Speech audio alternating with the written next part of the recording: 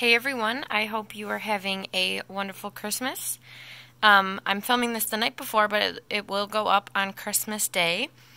Um, so again, happy Christmas. I hope everything is going well.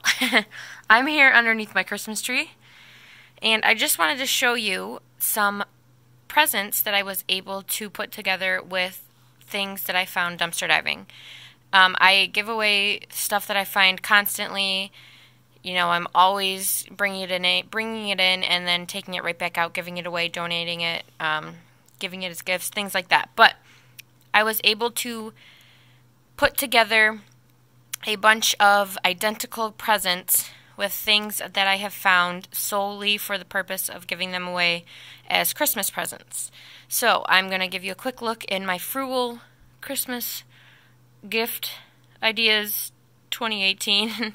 now, these aren't going to go to like my immediate family. I'm not going to give these to my mom or sister or anything like that. This will go to um, things like my boyfriend's aunt or um, a cousin's girlfriend, things like that.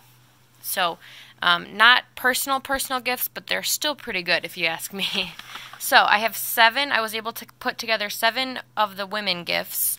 And in each of those, I have one of these jewelry sets, if you remember. I found a whole bunch of these around Mother's Day, I believe, last year. This one's flipped a little bit. There we go. So they each have a jewelry set in them. An EOS lip balm. And one of these little travel wine glasses. I found a whole ton of these. I think they're funny. And with that, a little mini bottle of wine that I found a little while ago as well. So that's my woman gift. It has the jewelry, the lip balm, the wine, and the cup. I think it's a nice little gift. And the man gift, they each have this collectible Detroit Lions snowman. Um, even though the Lions are the absolute worst, it's still my, our home team, so I think they'll enjoy that.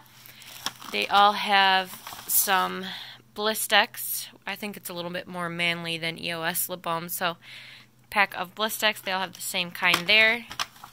A candle. This one's kind of more manly. It's a timber wick. It has like the crackling thing on top, and it's night musk scented, so that's a little bit more manly.